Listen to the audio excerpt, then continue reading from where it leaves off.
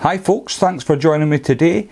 If you're a returning subscriber, welcome back. If you're new to the channel, please think about clicking that subscribe button. What you see in the vise is an elk hare's caddis, with a little twist of course. So without further ado, let's get into it.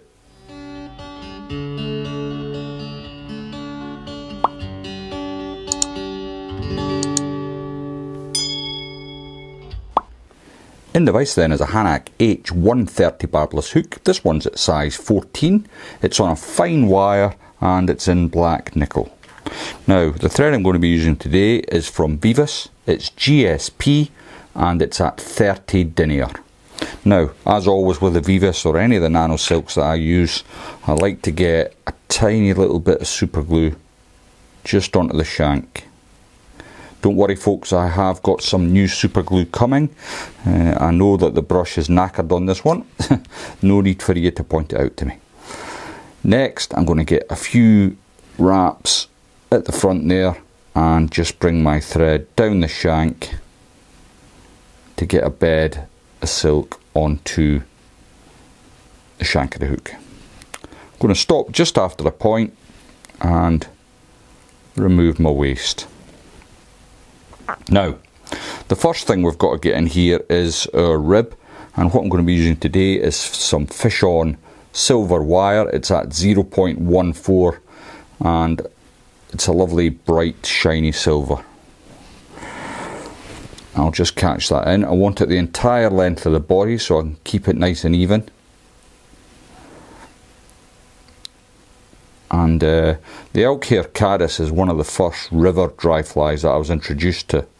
Uh, my friend Graham Lumsdon, who kind of is my mentor on the rivers, um, got me into river fishing, and uh, this was one of his favourite flies. I'm not sure if it still is, but certainly when we started a few years back, uh, it was one of his favourites. So I've got my ribbon, I brought my thread back to the base of the fly and the little twist I'm doing with mine is I'm going to add a little bit of glimmer into the fly. And what this is is from Troutline, it's Perdigon ribbon. So usually you put this in a bobbin and use that, but I've taken a little bit off and I have that just here in my hands. Now I want it to be underneath. There's, I see a lot of people tying with flash on the top, and especially with dry flies, that's about as much use as a chocolate ashtray. You know, the fish are looking at the flies from underneath, so having a bit of flash on the top is kind of pointless. Unless you're just trying to make the fly look good, of course, which is never pointless. But there you go. So let's just get a couple of turns to catch that underneath. And it is a little bit awkward to do with a bit of practice you can get it done. So I'll catch that in. Now now that I've got that sitting where I want I'm going to come back an extra couple of turns. So that's ready to fold up once I've got my body material on. And what I'm using for my body material is uh, from Troutstalkers and uh, again it's a custom blend but any sort of yellowish tinted dubbing. I asked Andrew for some stuff for Mayfly and uh, he called it Mystic Maggot. Mystic Maggot. He's got a sense of humour as Andrew. Um, I've got some out the packet here and I'm just going to dub that on. I don't want it to be too bushy but just enough as to cover up my body and I'll dress that up can bring that down. I've still got um, a little bit of the dubbing in my left hand just in case I haven't got enough and it looks like I've actually got more than enough here. I'll just stretch that out a bit, tighten it up and I'm going to stop there. Remove the excess. So when you're removing excess dubbing, just try and pull it down the thread away from the body of the fly and then any any sort of bits overhanging can be just trimmed away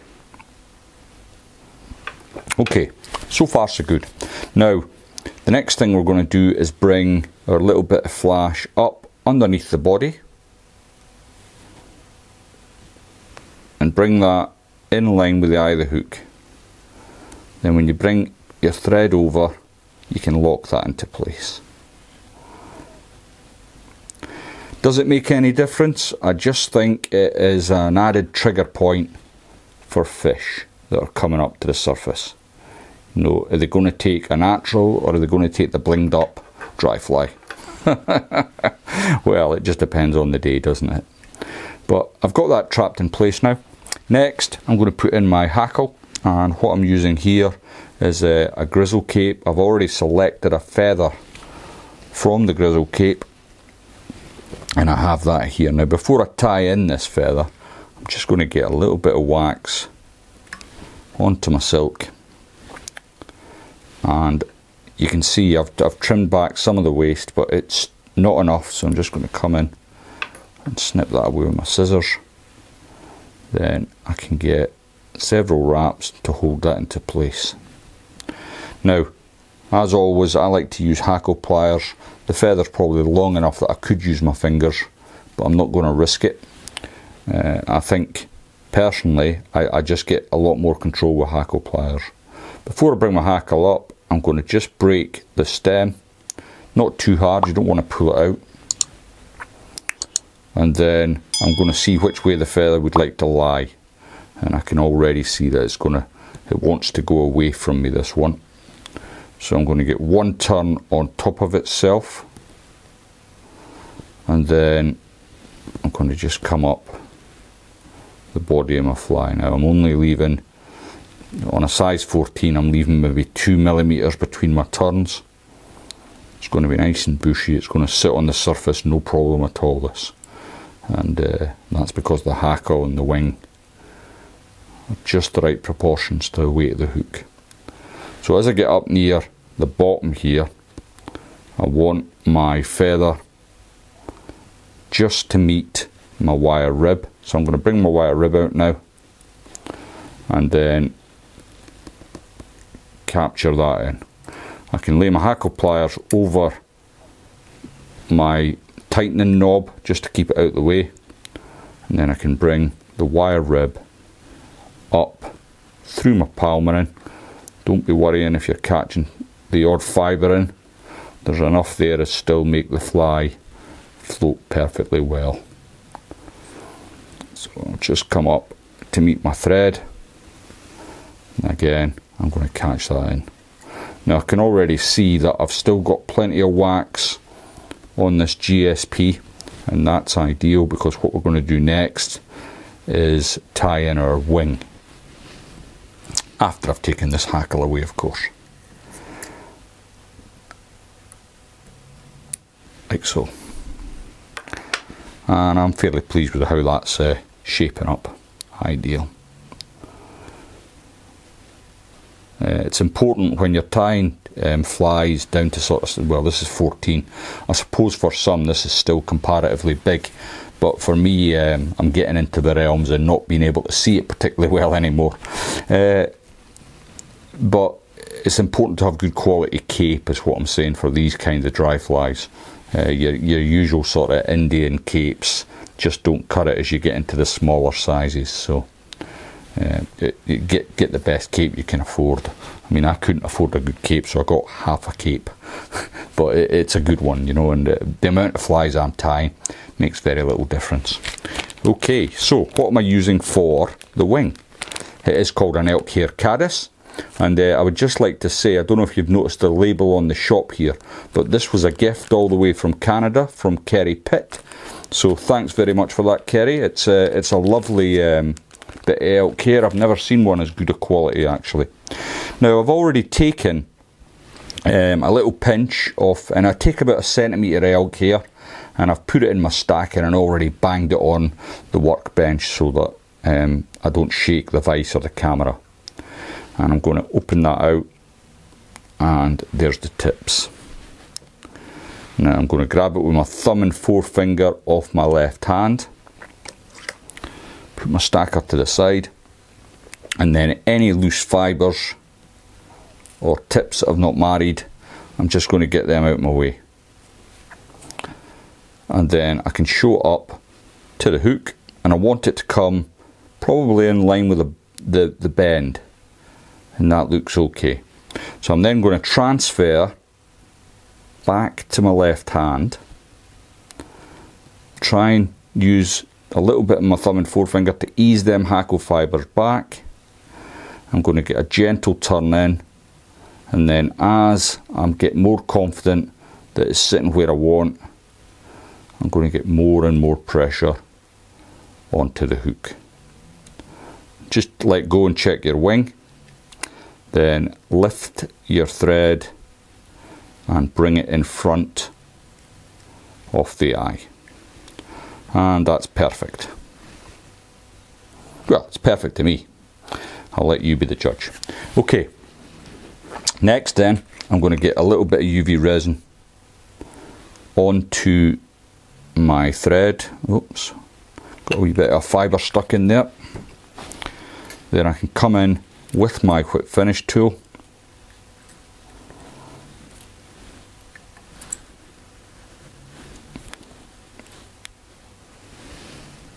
Slick everything back out the way. Sometimes you feel like when you're fly tying that you need about six pair of hands to do all these different jobs. But that's in there. Nice and tight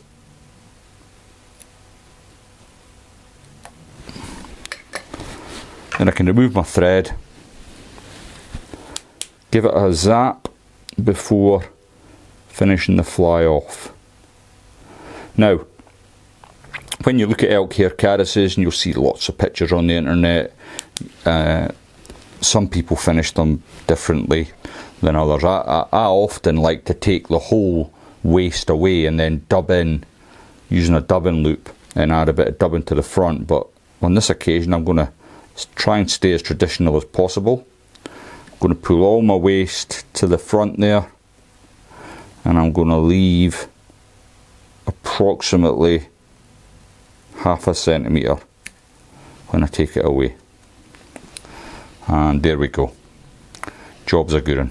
And uh, I would treat that with some uh, up high from Hunts, just the whole thing, and it would sit on the surface lovely. It's a very effective fly for um, wild brownies. Works particularly well on the River Tees actually. Thanks very much for watching. Um, if you haven't subscribed to the channel, please think about clicking the button there in the corner.